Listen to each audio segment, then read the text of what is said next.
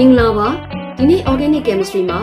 aldehyde structures တွေဘယ်လိုဆွဲတယ်အဲဒီ structure တွေကိုအမည်ဘယ်လိုပေးတယ်ဆိုတာကိုပြောပြပါမယ် aldehyde and ketone aldehyde နဲ့ ketone က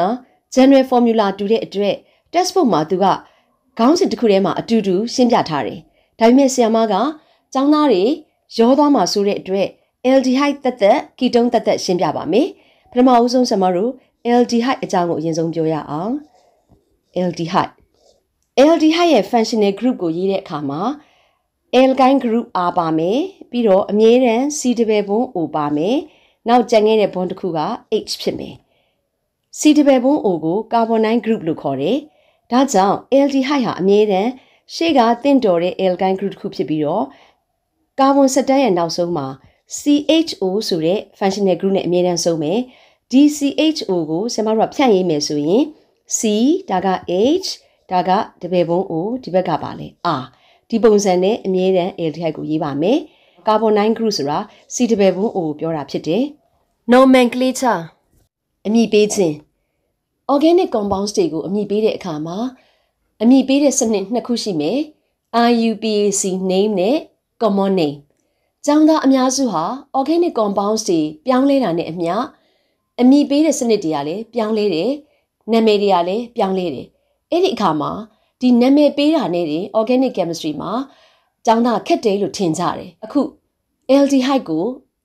IUPAC system နဲ့ဘယ်လိုနာမည်ပေးတယ်ဆိုတာကိုအရင်ပြောပါမယ် IUPAC name မှာ aldehyde ကို alkane လို့ရေဘူးရပြောပါမယ်။ဘာကြောင့် alkane လို့ပြောရလဲဆိုရင်ဆရာမတို့ရှေ့မှာပေးခဲ့ဘူးတဲ့ hydrocarbons alkane ကနေ E ကိုဖြုတ်ပြီးတော့ Al ပေါင်းထည့်ပေးခြင်းအဖြစ် alkane ရမယ်။ alkane ဆိုတာက R ပါတဲ့ compound ကိုခေါ်တာ။ aldehyde formula ကိုရေးမယ်ဆိုရင်ပထမအဆုံး alkyne R နောက်က functional group CHO ဆက်မယ်ဒီ CHO ကိုဖြန့်ရေးမယ်ဆိုရင်ဒါက R C တပယ်ပုံး O ဒါ H သူ့ကိုနာမည်ပေးမယ်ဆိုရင် R ပါတဲ့အတွက် ALKAN E နေရာမှာ AL ထည့်လိုက်တော့ L ကနေ aldehyde ရဲ့အငယ်ဆုံးအုပ်စုက HCHO သို့မဟုတ် H C တပယ်ပုံး O H ဒီမှာကာဗွန်တစ်လုံးနဲ့ပါတဲ့အတွက် METHA N E ကိုဖြုတ်ပြီး AL ထည့်လိုက်တော့မိသနေ။နောက်အာနေယာမှာအငယ်ဆုံး alkyne CH3 ကိုထည့်လိုက်ရင် CH3CHO or CH3 C တပည့်ပုံး O H 1ဒီမှာပါလေ2နှလုံးရှိတဲ့အတွက်ကြောင့် ETHA N AL ဤတနေဖြစ်မယ်။အာနေရာမှာ E တိုင်းထည့်မယ်။ CH3 CH2 CHO ဆက်မယ်။ဒါကိုကာဗွန်9 group နဲ့ရေးမယ်ဆိုရင် CH3 CH2 C တပယ်ပုံး OH ကာဗွန်နံပါတ်1 2 3သုံးလုံးရှိတဲ့အတွက် propanol NaL propanol ဖြစ်ပါမယ်။နောက်တစ်ခုက CH3 CH ဒီအောက်မှာ CH3 တခုချမယ်ဒီဘက်က CHO နဲ့ဆုံးမယ်ဒါကို CO group ထည့်မယ်ဆိုရင်လည်းတူတူပဲ CH CH3 C တပည့်ပုံး OH IUPAC နဲ့အမည်ပေးတဲ့အခါမှာဒီ CHO က C ကိုကာဗွန်နံပါတ်စတက်မယ်1 2 3ကာဗွန်နံပါတ်2မှာ CH3 ရှိတဲ့အတွက်ကြောင့်2 methyl 2 methyl ကာဗွန်နံပါတ်3လုံးပဲရှိတဲ့အတွက်ကြောင့် PRO PANAL 2 methyl propanol ဖြစ်မယ်နောက်တစ်ခုရေးကြည့်ရအောင် CH3 CH ဒီမှာ CH3 နောက် CH2 CHO ဒါကိုကာဗွန်9 group ပေါ်အောင်နာမည်ရေးမယ်ဆိုရင် CH3 CH CH3 CH2 နဲ့ CHO ကိုဒီလိုရေးတာလဲရပါတယ်။ကာဗွန်နံပါတ်တက်မယ် CHO ကကာဗွန်က1 2 3 4 ဒီနေရာမှာတော့ကာဗွန်နံပါတ်3မှာမီတိုင်းအုပ်စုရှိတဲ့အတွက်ဒီကွန်ပေါင်းရဲ့နာမည်က3 methyl 3 methyl ဆက်တန်းကကာဗွန်၄လုံးအရှိဆုံးဖြစ်တဲ့အတွက် butanal butanol အဖြေက3 methyl butanol ဖြစ်ပါမယ်နံပါတ်2 common name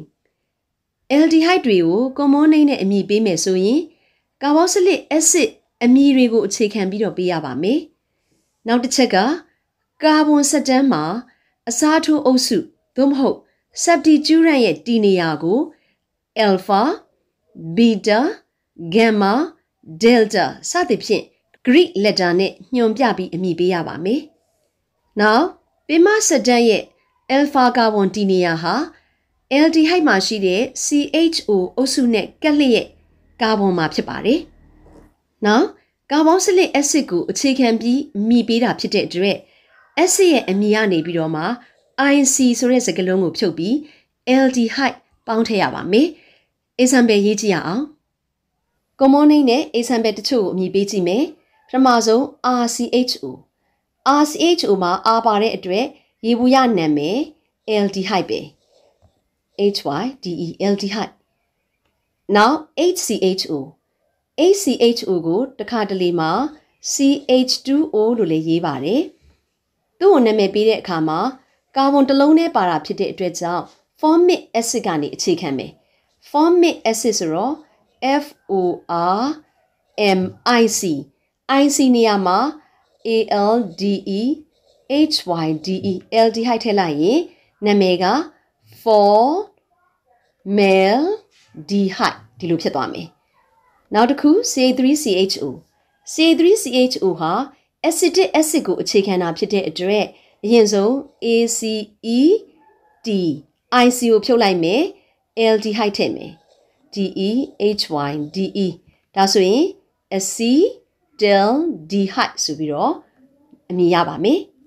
နောက်တစ်ခု CH3CH2 ထည့်မယ်ပေါင်းလိုက်ရင်ကာဗွန်1 2 3သုံးလုံးဖြစ်မယ်ဒါကြောင့် acid ရဲ့နာမည်က propionic acid ကနေလာတာအဖြေက PRO PIO NIC IC ကိုဖြုတ်ပြီးတော့ ALDE HYDE aldehyde ပေါင်းလိုက်ရင် pro pio naldehyde ဆိုတဲ့အဖြေရမယ်နောက်တစ်ခုက CH3 CH2 CH2 CHO ကာဗွန်၄လုံးပါတယ်သူ့ရဲ့ acid အခြေခံက butyric acid butyric acid မှာ BUT YR IC ကိုဖြုတ်လိုက်ပြီးတော့ ALDE HYDE aldehyde ဖြည့်လိုက်ရင် butyraldehyde လို့ဖြစ်ပါမယ် butyraldehyde အဲ့တော့ဒီ structure မှာဆိုရင် CH3 ခက်ဖြာ substituent တစ်ခုပါတယ်အဲ့ဒီလိုမျိုးဆိုရင်ဒီ CHO အုပ်စုကကာဗွန်နဲ့ကက်လျက်ကာဗွန်ကို alpha လို့အမည်ပေးမယ်နောက်တစ်ခုဟာ beta ဖြစ်ပါမယ်နာမည်ပေးတဲ့အခါမှာ alpha ကာဗွန်မှာ CH3 မီသိုင်းရှိတယ်ကာဗွန်၃လုံးဖြစ်တဲ့အတွက် propionic acid ကိုအခြေခံမယ်နာမည်ရေးကြည့်ရအောင် alpha methyl methyl ကာဗွန်၃လုံးဖြစ်တဲ့အတွက် PRO PIO NIC IC အစား ALDE HYDE aldehyde ကိုထည့်လိုက်ရင်သူ့ရဲ့အမည်က alpha methyl propionaldehyde ရပါမယ်။ methyl substituent အစားထိုးတစ်ခုပါတယ်။ alpha beta တက်တဲ့အခါမှာ CHO အုပ်စုကကာဗွန်နဲ့ကက်လျက်ကာဗွန်ကနေစတက်မယ်။ alpha beta gamma beta မှာ CH3 အုပ်စုရှိတာဖြစ်တဲ့အတွက်ကြောင့် beta methyl beta methyl ပြီးရင်ကာဗွန်၄လုံးရှိတာဖြစ်တယ်ကာဗွန်၄လုံးရှိတဲ့အတွက် butyric acid ကိုအခြေခံမယ် BUTYR IC အစား ALDE HYDE ထည့်လိုက်ရင် beta methyl butyraldehyde ဖြစ်ပါမယ် formaldehyde အမည်ပေးဖို့အတွက် formic acid ကအခြေခံတယ် formic acid ကိုဘာဖြစ်လာလဲအခြေခံတယ် acetaldehyde ဆိုရင် ACETIC acetic acid ကိုအခြေခံတယ် propionaldehyde က propionic acid ကိုအခြေခံတယ် PRO PIO NIC propionic acid ကိုအခြေခံတယ် butyraldehyde ဟာ butyric acid ကိုအခြေခံတယ် BUTYRIC butyric acid ကိုအခြေခံတာပါဒီနေ့ lesson မှာ aldehyde structure ပဲလို့ဆွဲတယ်အဲ့ဒီ structure တွေကို common name IUPAC name တွေနဲ့အမည်ဘယ်လိုပေးတယ်ဆိုတာကိုပြောခဲ့တယ်နောက် lesson မှာ aldehydes compound တွေရဲ့ methods of preparations properties uses တွေအကြောင်းကိုပြောပါမယ် see you next lessons bye bye